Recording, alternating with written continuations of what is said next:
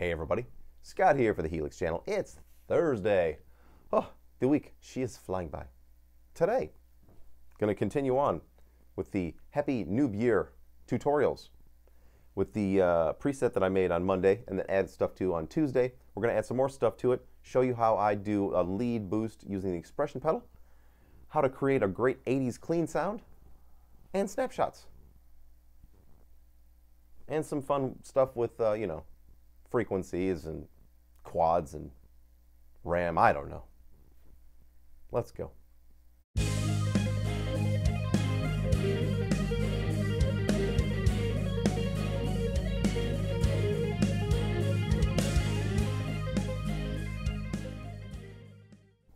Okay, here we are at the preset.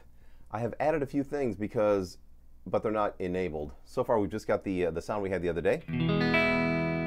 Just a really nice clean town. Clean town. Using the Strat, the Jimmy Vaughan Strat, on the combination neck and middle pickup. Now, I like chorus as much as the next guy, but I prefer to use pitch shifting uh, when it comes to uh, that type of effect, to modulation. I don't like phasing, I don't like flanging. I mean, chorus is great. It can be a little bit cloying, though, I find. And I like to use pitch shifting. So an old trick from the 80s is to have a pitch shifter that took the, uh, the guitar down 9 cents and then up 9 cents. So I've got one that goes negative 9. Oops, that one's supposed to go positive 9. What the hell happened here? It's all gone to hell. So we've got one that goes positive 9 and negative 9. All the rest of the parameters are the same. And it kind of depends where you put effects. I like to put this particular one before the amp. It just sounds better that way.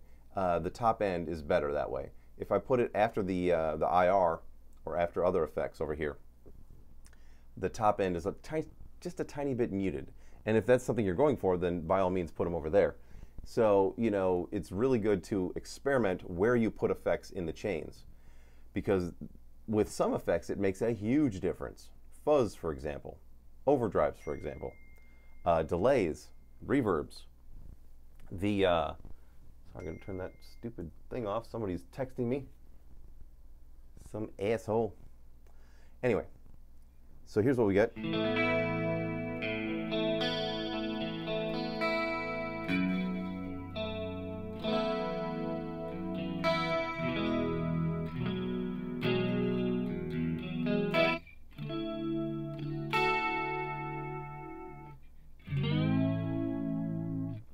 Good stuff. I'm a big fan of the 9 and 9 pitch shifter trick. Next thing, now the uh, the snapshots thing with the Helix was a revelation for me. And before the snapshots, man, I can't even remember what life was like before snapshots. It was so gray and lifeless. And now everything is great. I set mine up to have eight snapshots, as you can see. And to do that, what you need to do is you need to go into the uh, menu. Then you got to go into global settings.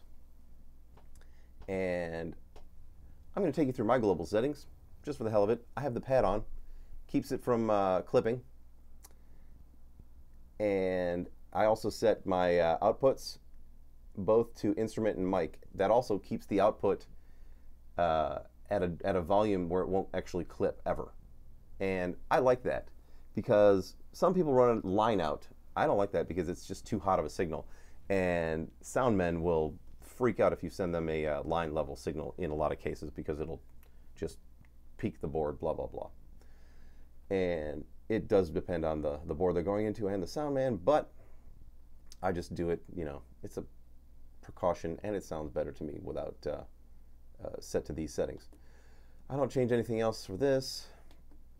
Um, the foot switches is where you go to set up eight snapshots. I set them to uh, eight switches auto return and then over in preferences discard. And those are all the settings that you need for snapshots to make that work. And just hit the home button I'm back. Now we can uh, for our first snapshot basically all we do is if you want to uh, have you know your uh, your big big pitch shift sound, just hit the uh, push in the big preset knob over here, press rename snapshot, and then call it something. We'll call it Big P for short. Insert that over. Give it a fun color from the 80s. Turquoise. That'll do. And save the preset. Anytime you go between snapshots, make sure you save it before you start working on the next snapshot or, you'll, or you can lose your information. Now, going over to the next one. Uh, say I want this one to sound like, uh, you know, a crazy clean 80s tone. Awesome, let's do that. What do you do? Well, first, we're going to need to make some changes to the IRs. The low cut needs to come up. So to snapshot enable something, what you do is you press in on the button here and then turn it. The color will turn white above the parameter and then you can make your changes. Now I want to change both IRs the, the low cut on both of them. Press it in, turn it to the right. Just making some small changes. And I brought in a few EQs. And it's important to understand the EQ uh, range or the frequency range of the guitar, of the electric guitar, and how the, uh, the EQs will affect that. So for this particular one, I'm making it extremely uh, light on the bottom end. So I'm pulling out, and these are both exactly the same, pulling out negative 12 dB at 31.25 hertz, and both of these are below the guitar's perceived range or actual range, but not their perceived range because you can actually feel this, and you can feel both of these these frequencies on the guitar in overtones. When you mute stuff, you'll actually feel those those frequencies. So they're still important frequencies to adjust, even though they're you know, the, the guitar's range is, you know, technically outside of those parameters or those, you know, those numbers. I'm pulling down a bunch and then I'm stopping at 1K. I'm not pulling down anymore. I'm not raising anything else. And I'm leaving the top end alone. And here's what I get. I get a very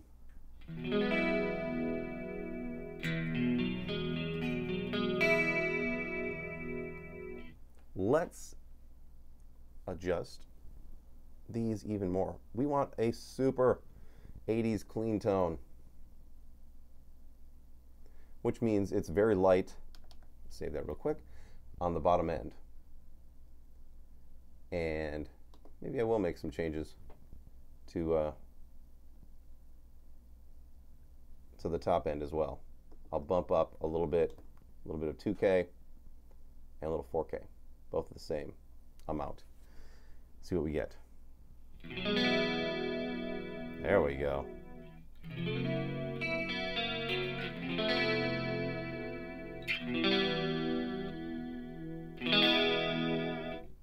Good stuff. The uh, the reverb, I'm just bringing it back in from where it was. I changed a little bit of the of the parameters. Just you know, raise the decay up and the mix just to make it even more 80s.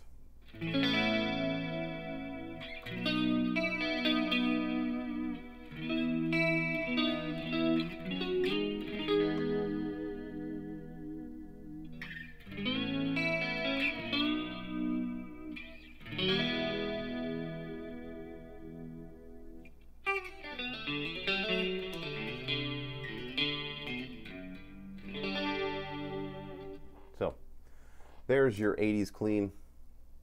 Let's push in the uh, preset button, rename, let's call it 80s clean.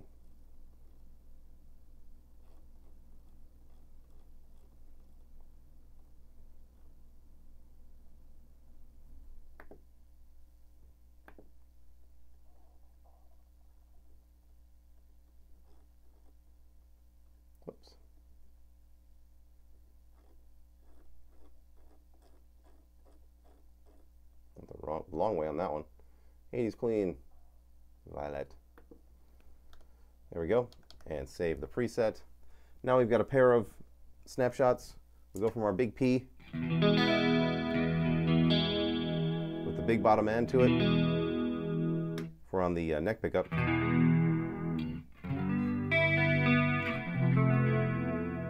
Then go to the 80s clean.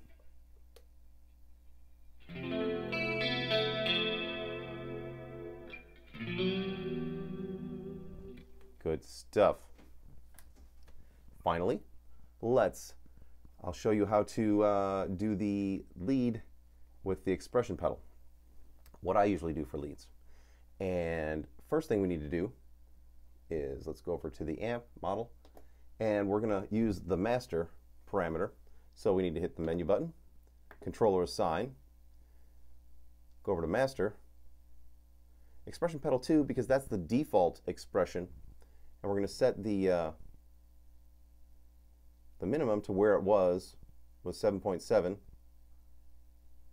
and we're just going to crank it all the way to 10 just for an exaggerated uh, demonstration.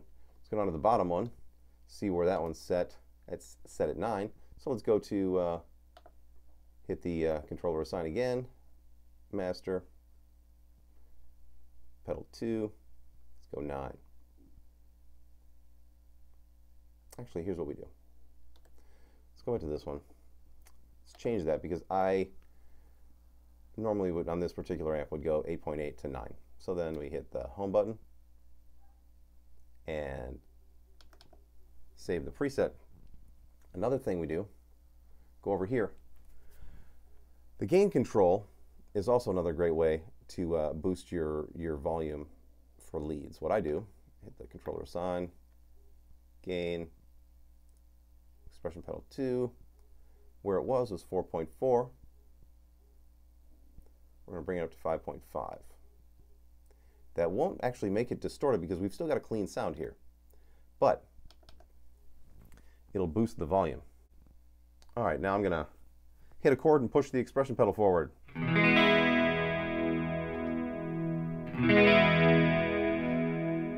Pull it back down. Push it up.